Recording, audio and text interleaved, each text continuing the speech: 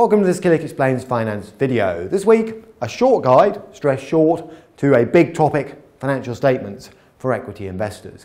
Basically, we are, as I make this in early February, heading through quite a big season, potentially for corporate annual reports appearing. So, what's in them? And if you're frankly intimidated by the sheer size of them, what bits can you take out as being the most useful in a reasonable space of time?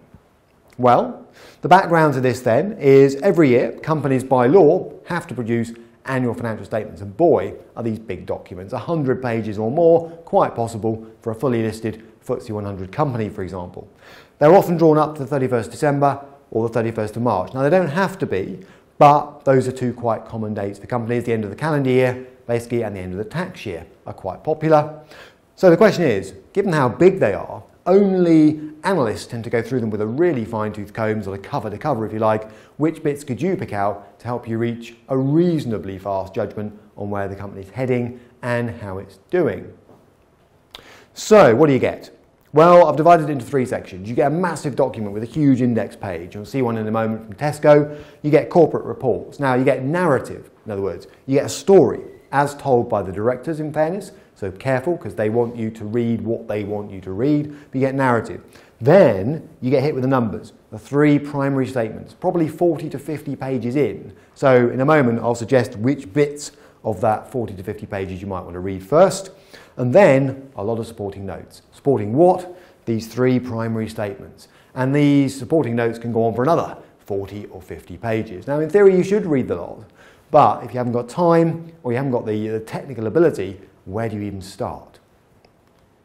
Now, corporate reports. Watch out for the next slide, it looks pretty unpleasant. So this is Tesco, and you won't even be able to see the writing on here, there's so much jammed into the one page. But the point I'm trying to make is, you know, out of all of this lot, what would you pick out? I mean, would you read it all? And I'm going to suggest there are a few bits here that are more interesting than others. If you could read them, there's an interesting bit there, there's an interesting bit there if you like, and there's another bit just down here. Now, for anyone thinking, I can't even see what you've just circled, what are the three bits that I would start with? Personal preference, my opinion, where would I start? Well, I would say the financial review, not a bad place to start. Usually prepared by the finance director. It's basically narrative, but it's normally reasonably focused compared to some of the other bits, and it does tell you a fair amount about the way the business has been performing and where it's got to in financial terms by the year end. Then principal risks and uncertainties. Okay, it's a little bit boilerplate, it's a little bit one size fits all, but as an investor, really important to have a handle on what the principal risks facing the business might be. And when we get to the supporting notes, I'll show you a place to hunt down some evidence that this is giving you the full picture. Because that's part of the name of the game with accounts. Does the story match the numbers? And then the director's remuneration report. I don't need to sell that, I don't think too much. Let's take a look at what the directors are paying themselves, if you like. I mean, I know the shareholders have to approve it, but what do the directors think they're worth? Does that stack up with how you think the business is performing? So, lots of other things you could read, and by all means, you've got time, do so, but those are good places to start, in my view. Now, section two, the financial statements. I'm going to keep this brief and I'll give you a reference at the end to somewhere you can find a lot more information, but these are halfway through or more the profit and loss account the balance sheet, and the cash flow statement. Now, some analysts and investors have a preference. They say cash is king. Number three matters more than number two. I disagree. I think they all play their part in telling you how the business has performed and where it's got to. The profit and loss account is financial performance over the last 12 months in revenue and cost terms. The balance sheet's like a snapshot of where the business has got to, what it's worth using accounting rules at the end of the year, 31st December 31st of March. The cash flow statement tells the story, a bit like this one over here, but using different techniques, using cash in and cash out.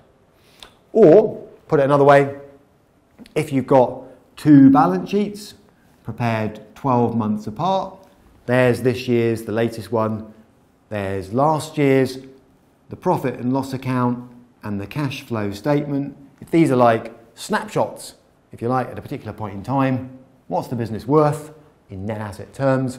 These are the stories that tell you how the business got there. And they tell a slightly different story, and it's worth comparing and contrasting the two. Now, I'll get straight in with a reference for those people thinking, crikey, haven't seen these before. If you want to understand a bit more about how profit and loss accounts, balance sheets, and cash flows are put together, please do go to killik.com forward slash learn and click on the financial statements tab over this side and that'll give you those videos. But let's move on.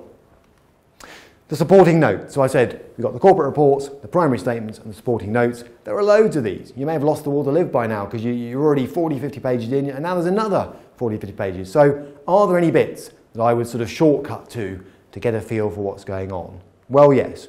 The accounting policies. Now, this is a biggie. It's the first one you hit, by the way. This tells you what assumptions the directors have made in preparing the accounts. And I tend to look for changes, inconsistencies, things that don't smell right, if that makes sense. A little bit of experience helps, but accounting policies are important. And do they stack up with other firms in the same sector? How do they compare to industry norms? All that's important stuff. Then the hidden nasties towards the back of the notes section. Commitments and contingencies and changes in net debt. Stuff the directors might not want you to read first of all. That's why they tuck it away towards the back, but is important in understanding how the business is performing and any hidden threats that might be out there. And finally, the five-year summary. After all, reading financial statements is about reading trends, so the snapshot you get from the primary statements needs to stack up over a longer time period. And that's not a bad place to start with the caveat that it has been prepared by the directors, so it will probably tell the story they want you to read. The good news then, why am I doing all this work with financial statements? They're audited. So somebody says these are true and fair and prepared in accordance with the law, firms of accountants, they're prepared to a statutory format, which means that you can compare them apples for apples over different time periods, and that's quite important. The directors can't just prepare them any which way each year, and they do contain detailed commentary and numbers, and those two things are important in terms of understanding where the business has got to and what it might be worth in accounting terms.